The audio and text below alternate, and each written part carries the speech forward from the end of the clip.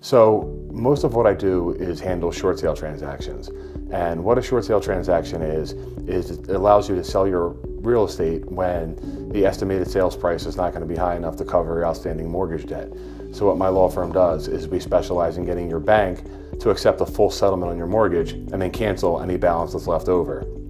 And the way we work together with Exit JP Rothermel in this capacity is Exit JP Rothermel will go out and list and sell the property for us, and then my law firm will assist with getting the mortgage company to take the settlement.